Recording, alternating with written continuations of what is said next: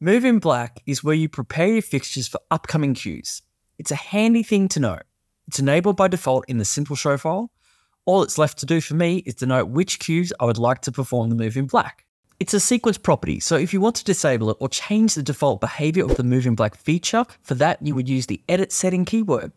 I'm sure we can just use this sequence stored in the first executor of the basic show file to create an example. It's the selected sequence, so I can just use time 5 please to update that cue timing. Then when I restart the cue, you can immediately see a use for move in black. Let me rework this for you so you can see the alternative.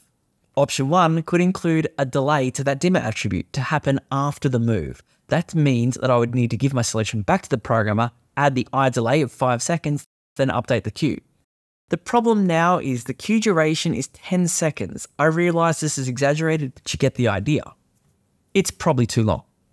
I've used oops to go back and remove that delay. The simplest way I could create a version of this to give the move in black operation an opportunity to be used is to place a cue before Q1.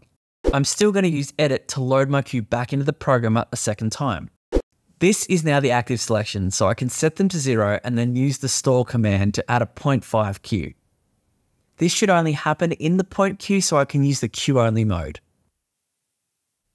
If I come across here in the sequence sheet, there is an option for me to use the move in black mode. There's a bunch of modes, and I'm only going to demonstrate defined for now.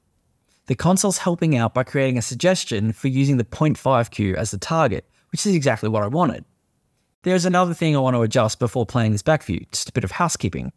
I'm changing the type for Q1 to time with a trigger value of 1. This way, Q1 automatically follows after one second, giving the lights that beat from my go to get into position before they fade to full.